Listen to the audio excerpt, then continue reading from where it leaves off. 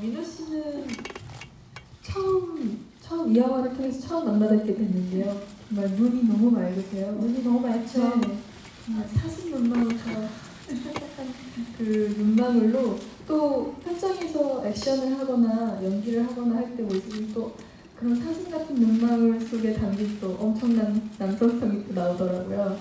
정말 다양한 모습들을 있는 배우가 아닌가. 굉장히 열정적이고 그 열정적인 모습에 어, 저도 되게 많은 좋은 기운을 받았던 것 같아요. 좋습니다. 인당